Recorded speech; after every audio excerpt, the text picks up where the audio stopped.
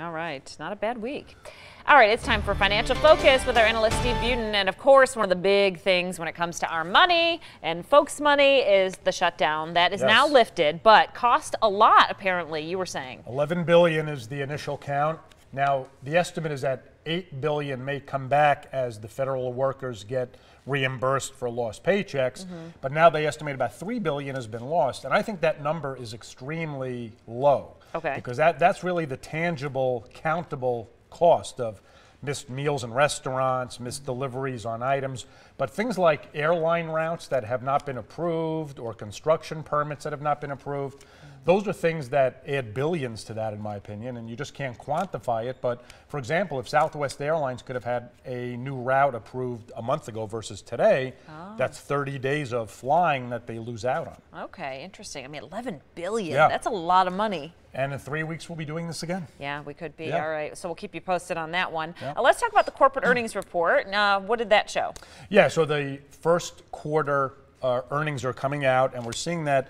The thing that uh, struck me was a big company, Caterpillar. They're the world, one of the world's largest heavy machinery makers, and more than 50% of their revenue comes from overseas. So they're a good bellwether as to how things are going. And they came out with a really weak report today, basically saying we're bringing in some good revenue, but the tariffs that have been implemented are really hurting our sales and our profits. So it's just a shot across the bow to the you know politicians and economists that they need to resolve some of these trade issues because a big company like Caterpillar, when they warn about things going forward, it has a ripple effect throughout the economy.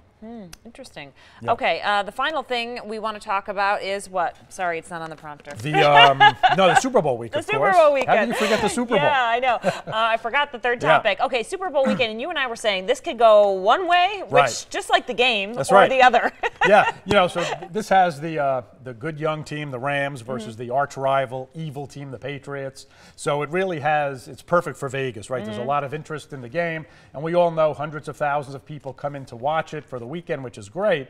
But the early betting, uh, I haven't seen the latest numbers. I don't think you said you have either. But there's a lot of money going to the Patriots. Right. So in a Because perfect everyone world, kind of thinks they're going to win. that's right. right. That's right. Tom Brady. and Right, the that. whole Yeah. Tom Brady thing. So, in a perfect world, the sports books get 50 50 equal bets on either side, and then they just make the difference in the odds that they charge, right? It's Mm-hmm. called the VIG. But there's a lot of money going on New England so far, and if the Patriots win, you know, it could cost the sports books some money. If the Rams win, it's really good. But the sports books don't like to take that kind of risk normally. They'd Right. rather just have it 50 50. They're guaranteed a, a decent profit, and they move on. But don't you make more if you bet against the Patriots? No, well, if they're favored to win? Are they favored to win? The Patriots are favored right now. I think the line is about two and a half points, but you have to lay the same amount on the same on a regular bet. Okay. And usually it's about ten percent. Now it. it. changes with point spreads and all that stuff, but normally it doesn't cost you any more to bet the favorite or the underdog. But that ten percent difference is where the sports books make their money. All right, this is why I don't hit the sports book. Only when my dad tells me to go place a bet and gives me money. Well, his ten dollar bets could really move lines. Okay. All right, Steve, thanks. We'll chat with you next week um, after the Super Bowl, Yeah, right? sure. Gosh, it's this Sunday, yeah. All right, stay with us. We're back after this.